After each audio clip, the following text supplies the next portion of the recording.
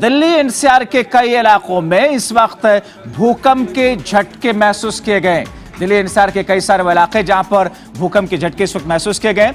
बताया ऐसा जा रहा है कि पंजाब, हरियाणा में भूकंप के झटके महसूस हुए हैं। हालाँकि कश्मीर, पंजाब, चंडीगढ़ और दूसरे ऐसे इलाके हैं जहाँ पर भूकंप के झटके हुए। जो केंद्र रहा भूकंप का, वो अफ़गानिस्तान का इलाका रहा। यानी कि भूकंप का जो केंद्र रहा, सात दशमलव एक की तीव्रता से, हालाँकि अलग अलग सोर्सेस से जो खबरें आ रही हैं, कहीं पर सात दशमलव एक की बात कही जा रही है, कहीं पर सिक्स दशमलव छः दशमलव पाँच की बात कही जा रही है। हालाँकि कुछ ही देरी में स्थिति साफ़ हो सकेगी, मगर अफ़गानिस्तान इस भूकंप का केंद्र रहा। दिल्ली एनसीआर में हालाँकि अभी तक किसी तरीके के जाने वाले नुकसान की खबर नहीं है, लेकिन दिल्ली और एनसीआर का वो इलाका जहाँ पर भूकंप के झटके महसूस किए गए हैं, वहाँ पर प्रिकॉशनरी स्टेप लोग उठाए, इस वक्त उठाए जा रहे हैं।